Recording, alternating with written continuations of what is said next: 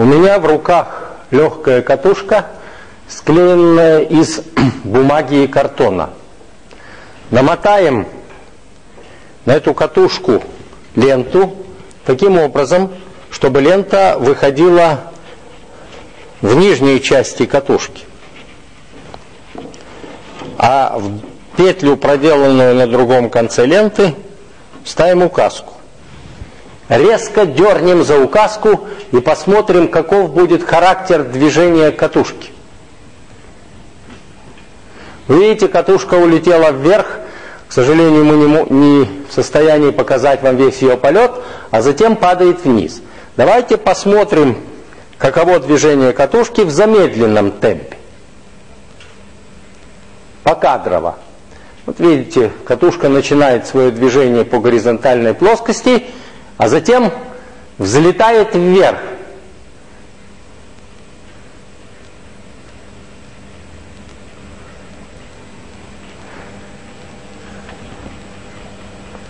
Ну и через некоторое время, полетав вверху, она возвращается вниз.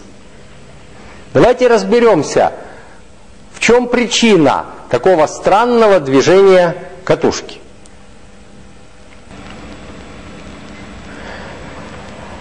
Когда демонстратор тянет за ленту, которая снизу выходит из-под катушки, разматываясь, то катушка приобретает, во-первых, поступательное движение на рисунке вправо со скоростью v, и, во-вторых, вращается против часовой стрелки.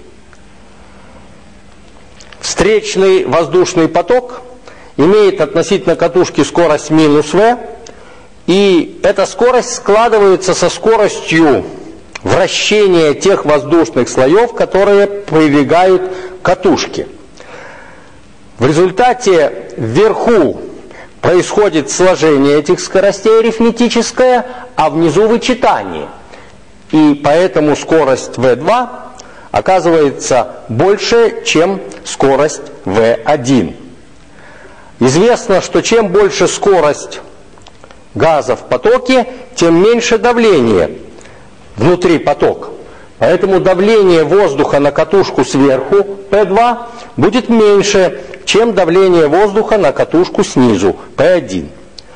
И возникает результирующая сила F, направленная в данном случае вверх, которая и поднимает при полете вращающуюся катушку. Это возникновение поперечной силы в набегающем потоке жидкости или газа, набегающем на вращающееся тело, называется эффектом Магнуса. Давайте проследим за полетом катушки еще раз. Эффектом Магнуса обусловлены причудливые траектории полета мячей в футболе, волейболе, настольном теннисе, когда игрок сообщает мячу не только поступательное движение, но и закручивает мяч при полете. Всем вам хорошо известен так называемый сухой лист, который э, осуществляется при подаче углового мяча в футболе.